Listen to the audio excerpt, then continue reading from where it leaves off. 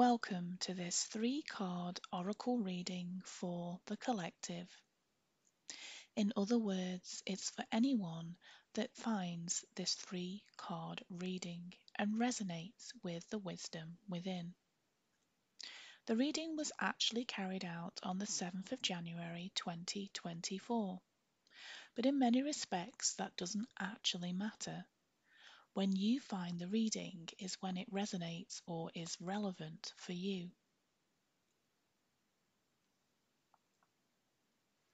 Usually, a three card reading is past, present, and future when using oracle cards.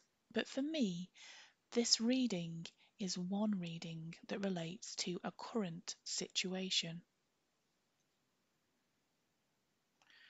We're now going to move through each card individually so that you can see the words on the oracle cards themselves.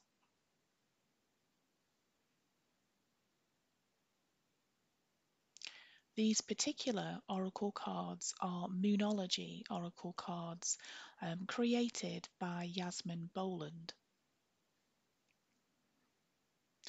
And the reason that I chose them is because I feel very connected to the moon.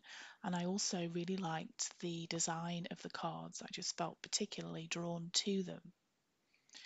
And although the oracle cards themselves relate to different phases and the cycles of the moon, in this case, the way that I am going to share the reading with you is the way that I have intuitively read this card reading.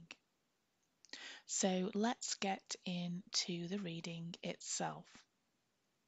Usually, um, a three card reading relates to past, present, and future. But for me, this reading is one connected reading that relates to a present or current situation. So you may take something quite different from this card reading, and that's absolutely okay, and you should completely do that. But for me, this reading is all about connecting with your feelings, with your intuition. It's about taking time to quiet your mind, whether that be through meditation, through rest, through connecting with nature, and listening to those deep emotions or feeling those deep emotions regarding whichever situation you find yourself in. And by connecting with these emotions, you will find the solution that you seek. So for me, this is what this card reading is telling us or you to do. That's the guidance that this card reading is sharing with you. But of course, as I say, if you take something completely differently um, from the messages within this card reading, that's absolutely okay too.